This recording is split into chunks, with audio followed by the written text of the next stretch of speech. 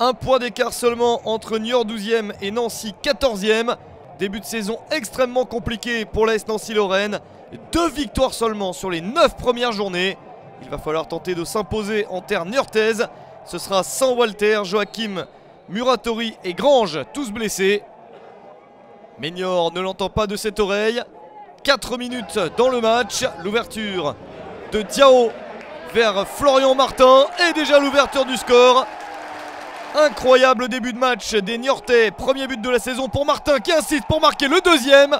Fantastique doublé pour Florian Martin. Il le réalise en 7 minutes seulement.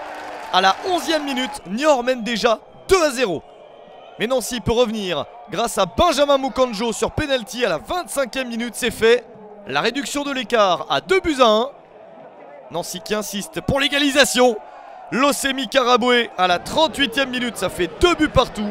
Troisième but de la saison pour le joueur ivoirien.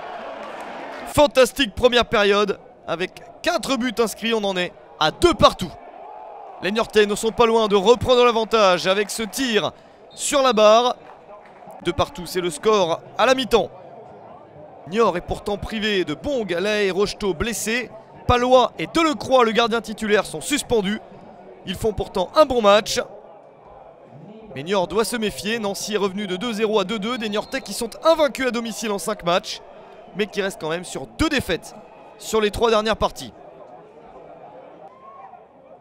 Niort qui va reprendre de plus belle pour essayer de reprendre l'avantage avec cette tête. Ça passe juste à côté du but gardé par Paul Nardi, le jeune gardien de 19 ans de l'Est Nancy-Lorraine. Il a signé il y a quelques semaines son premier contrat professionnel. Niort qui insiste, mais qui n'a pas réussi à marquer le troisième but. Pourquoi pas le tour de Nancy de réaliser cette performance et prendre pour la première fois du match l'avantage. Encore la sortie du gardien. Et la bêtise de Rodolphe Roche. On est dans les arrêts de jeu de la partie.